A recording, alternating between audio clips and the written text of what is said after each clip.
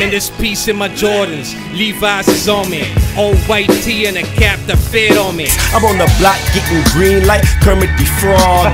Cinnamon, I'm bigger than most them dudes that you listen to. Niggas talking about a lot of shit they don't know. Looking at me like they never seen a star before. Not a real Christian, but my rhymes stay spiritual. Reppin' 297, got that on my back.